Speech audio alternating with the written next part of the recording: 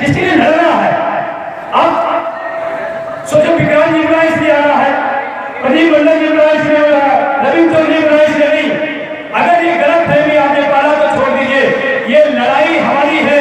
Pension हमको लेना है। इसलिए मैदान में डटे रहना है खड़े रहना है, क्योंकि अपनी पेंशन का सवाल है। आप पेंशन। नहीं और पुरानी का चक्कर आता है। आ जाइएगा। पुरानी अच्छी है नहीं अच्छी है। कितने लोग मानते हैं कि पुरानी अच्छी है हैं सरकार नहीं मानेगी। कहती तो पुरानी हो गई। नहीं हो रही और नई हमारी तो दावत है। नई नोदी पुरानी। ऐसा है।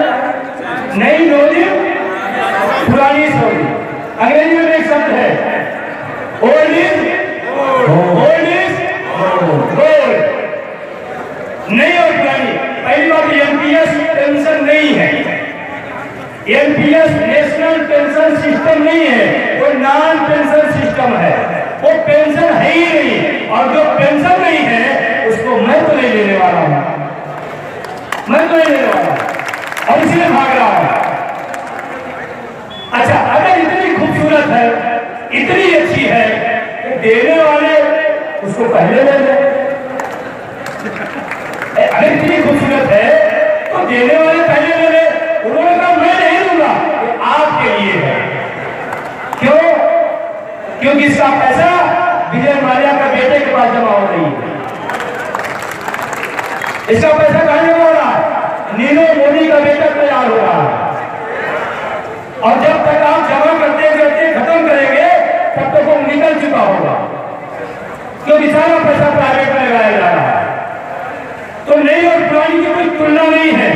नई नई है ही नहीं। और मैं तो नारा कर दूँ, नई नहीं, पुरानी सही। नई नई अरे बोलो भाई। ये तो सरकार सबके विजय बंधु बोलता, बाकी बोलते नहीं, इसको चिल्लाने दो। जब सब चिल्लाओगे तो मिलेगा। नहीं नहीं, हम तो नहीं बोल सकते। हैं नहीं नहीं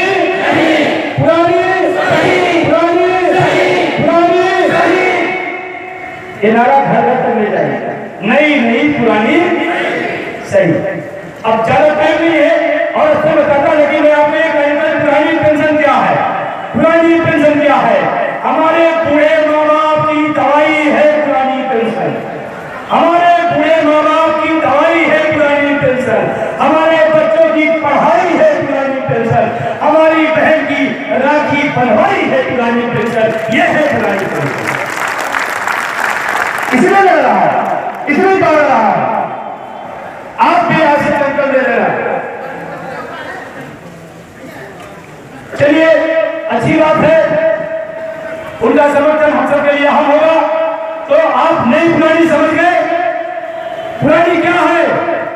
बूढ़े माँ बाप की और हमारे बच्चों की और बहन की राखी अरे तो बूढ़े हो जाएँगे आपकी बहन आएगी राखी बनेगी तो आप कहाँ से देंगे आपका बच्चा आपकी बेटी आपका बेटा नहीं सुनेगा लेकिन वो पेंशन जेल में रहेगी कहना बहन पहले भी दिया है अब भी ले जा क्योंकि पेंशन हमने संघर्ष से दिया है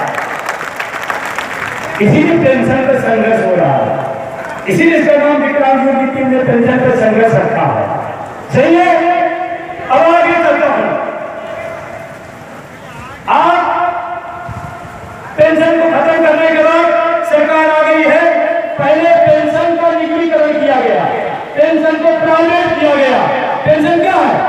निजीकरण तो है हम सरकारी कर्मचारी पेंशन प्राइवेट आ दीजिएगा पेंशन का निजीकरण निजीकरण जो भी आप पढ़ लीजिए अभी पेंशन का निजीकरण किया गया अब का निजीकरण किया जा रहा है, संस्थाओं का निजीकरण किया जा रहा है। निजीकरण और एनपीएस दोनों एक चीज़ है इसमें फ़र्क नहीं समझना। जब नौकरी नहीं रहेगी तो पेंशन की आबादी बढ़ जाएगी। तो निजीकरण और एनपीएस दोनों एक चीज़ है। पहले नौकरी का किया जा रहा है, अब संस्थाओं का किया जा रहा है।